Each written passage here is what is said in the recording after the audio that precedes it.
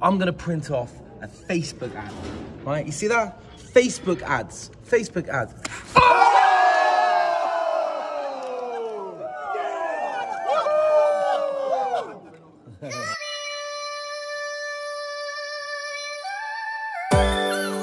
This song goes out to anyone that's ever been in or is currently going through an unstable relationship with their advertising platform. We first met, it was love at first sight.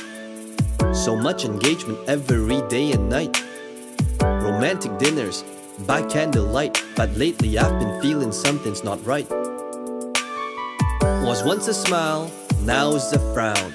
At cost going up, relevancy score going down. Now each day that we're together, it's like rolling the dice. I reached out to ask my friends for their advice.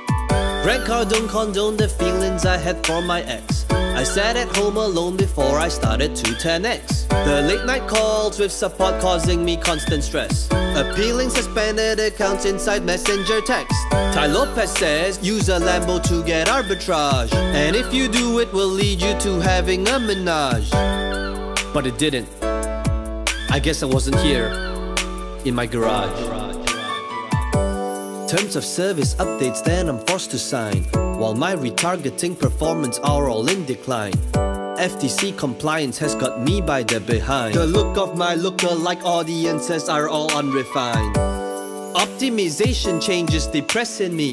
Forget about CBO, I need some CBD And if it was up to me, this relationship wouldn't end. But just like your pixel tracking, we're on again and off again.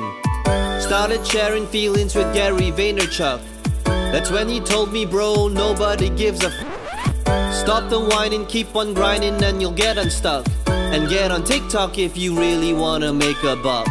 Russell Brunson took me out to a luncheon as we were munching at brunchin. He came close and told me something that has been the single most important thing in my life, but I'm not sure if I can tell you what it was. He said it was a secret. And I know you're not the only one. YouTube, Google Ads, and Pinterest, they all have come undone. I tried to run, but it's quicksand and I'm sinking. I might try a few one night stands with LinkedIn.